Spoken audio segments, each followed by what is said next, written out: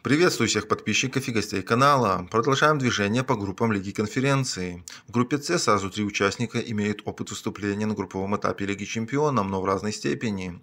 Загребская «Динамо» пять раз подряд останавливалась в третьем отборочном раунде, но в 2011 году все же пробилась в основную сетку, однако в группе с Реалом, Леоном и Аяксом не набрала ни одного очка, забив всего три гола и пропустив более 20. Годом позже в группе с ПСЖ Порту и Киевским «Динамо» хорваты заработали свой первый балл. В последнем туре разойдясь мира с украинскими одноклубниками, забив единственный гол на турнире. В 2015 году «Динамо» добила своей первой победы в стартовом туре, сенсационно переиграв «Арсенал», но больше очков не набрала. А годом позже не сумела навязать борьбу Ювентусу, Севилье и Лиону, проиграв все матчи, не забив ни одного гола.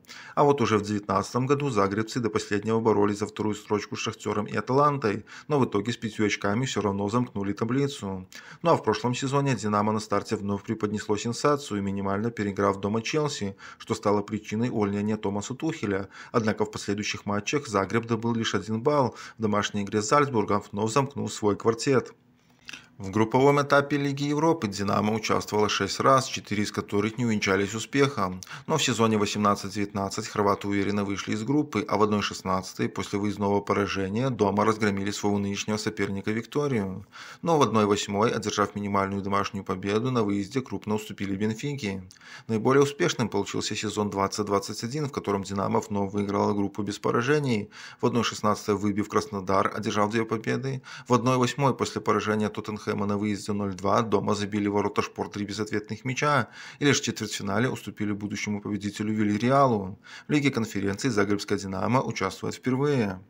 Чешская Виктория, как и Динамо, впервые попала в Лигу чемпионов в 2011 году и в группе с Барсой, Миланом и БТ сумела занять третью строчку. Через сезон Виктория вновь оказалась в мощной группе с Баварией, Манчестер Сити и ЦСКА, где снова сумела занять третью позицию, опередив армейца за счет выездного гола в личных встречах. В 2018 году Виктория снова стала третьей в непростой группе с Реалом Ромой и уже знакомым ЦСКА, который снова опередила за счет личных встреч, в то время как армейцы, дважды обыграв королевский клуб, замкнули таблицу. В прошлом сезоне Виктория не изменила себе, вновь оказавшись в группе смерти с Баварией, Барселоной и Интером, но тут уже очков набрать не удалось. При этом Виктория стала единственной, кто сумел распечатать ворота еще на Гельсмановской Баварии. В групповом этапе Лиги Европы чехи участвовали четыре раза, из которых дважды выходили в плей-офф, а также еще три раза попадали туда с третьего места в Лиге чемпионов. Но лучшим достижением Виктории является 1-8 от турнира, где команда была три раза. В 2013 году Чехов не пустил дальше Финибахче, в 2014 камнем преткновения стал французский Леон, а в 2019 дорогу Виктории перешел португальский Спортинг. В первом розыгрыше Лиги конференции Виктория становилась в шаге от группового этапа, после домашней победы 2-0, крупно уступив на выезде Софийскому ЦСКА. ЦСКА. Астана играла в Лиге чемпионов лишь один раз в 2015 году и в группе с Бенфикой, Атлетикой и Галтасараем не проиграла ни одного домашнего матча, в итоге набрав 4 очка, зацепив ничью еще в Стамбуле.